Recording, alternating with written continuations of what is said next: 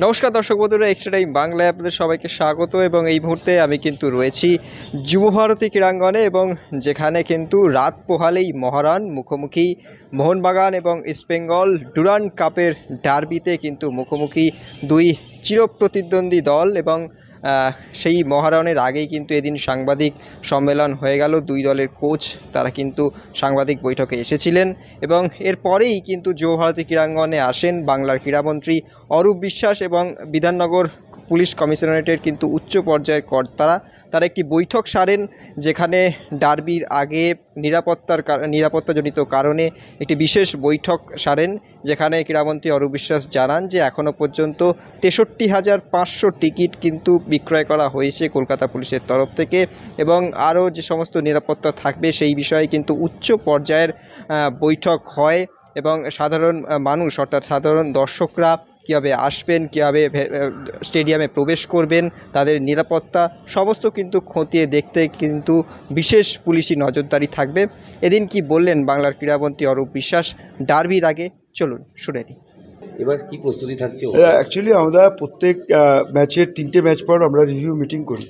Bidhannagar police commissionerate army, আমাদের যারা stake holder আছে, বিশেষ করে PWD civil electrical IT PHE forest সবাই মিলে, যতগুলো ফায়ার ব্রিগেড হেলথ আমরা সবাই মিলে তিনটে ম্যাচের পরে রিভিউ করি, যেখানে পুলিশ, প্রশাসন এবং আর্মির লোকেরা থাকেন।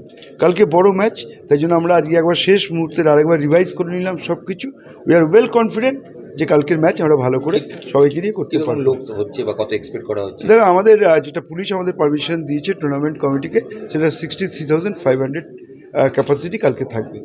টিকিট নিয়ে অদ্ভুত চাহিদা তৈরি হয়েছে। হ্যাঁ যে কোনো। মরশুমের প্রথম ডার্বি ম্যাচ ইস্টবেঙ্গল মোহনবাগান খেলছে তো চাহিদা তো সবসময় থাকবেই। কিন্তু ওয়েল যত অনেক বেশি টিকিট এবছর দেওয়া হয়েছে আমরা বিশেষ করে তিরিশ হাজার টিকিট ইস্টবেঙ্গল মাঠ থেকে পনেরো হাজার মোহনবাগান মাঠ থেকে পনেরো হাজার আমরা দর্শকদের জন্য আর্মির তরফ থেকে বিক্রি করা হচ্ছে। কালকেই প্রচুর টিকিট বিক্রি হয়ে গেছে কিছু আছে ওটা আজকে বিক্রি হয়ে যাবে। আমরা পাঁচ হাজার করে বোথ ক্লাব ইস্টবেঙ্গল মোহনবাগান মহামেডান আমরা আইএফএকে পর্যন্ত বারোশো টিকিট দিয়েছি মহামেডানকে দিয়েছি যা যেখানে যেখানে যারা আছেন এরকম কেউ বলতে পারবেন না যে তাদের কাছে টিকিট পৌঁছয়নি। আমরা সবাইকেই টিকিট দিচ্ছি। কালকে তেষট্টি হাজার পাঁচশো পুলিশ পারমিশন দিয়েছেন সেইভাবেই টিকিট ছাপা হয়েছে। এবার যতজন আসবে? সিকিউরিটি পারপাসে কি থাকছে ওভারঅল সিকিউরিটি পারপাসে আমাদের একটা বড় একটা অ্যারেঞ্জমেন্ট থাকে। আমাদের আড়াই হাজার মোটামুটি আমাদের পুলিশ কর্মীরা মোতায়েন থাকেন এখানে। পনেরো থেকে ষোলো জন তো আমাদের senior officer DC ADC ranking officer আছেন এখানে।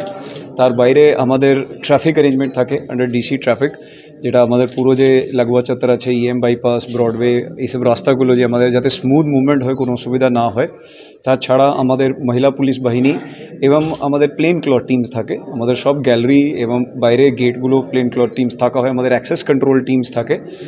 আমাদের স্ট্যান্ড বাই অনেকটা অ্যারেঞ্জমেন্ট কন্টিজেন্সি অ্যারেঞ্জমেন্ট থাকে, যাতে কোনো কোনো অঘটন হলে বা কোনো প্রবলেম হলে আমরা ইমিডিয়েটলি রেসপন্ড করতে পারি।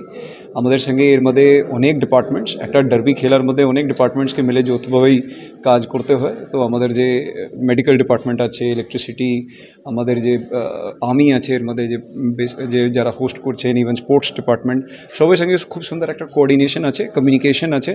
আমাদের কমিউনিকেশন চ্যানেলস পয়েন্ট অফ কী কী যে ইস্যুস আছে সেটা আজকে লাস্ট এটা মিটিং হলো। এটা থ্রেড বেয়ে ডিসকাস করা হয়েছে কোথায় যাতে কোনো কোনো রকম কোনো অসুবিধা না হয়।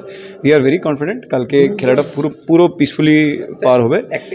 আমাদের আজকে বিকেলে ডিসি হেডকোয়ার্টার প্রেস ব্রিফ করছেন। উনি আপনাদেরকে সব dos and don'ts in detail ওখানে ব্রিফ আমার করে একটাই দেবেন। প্রশ্ন। Extra time.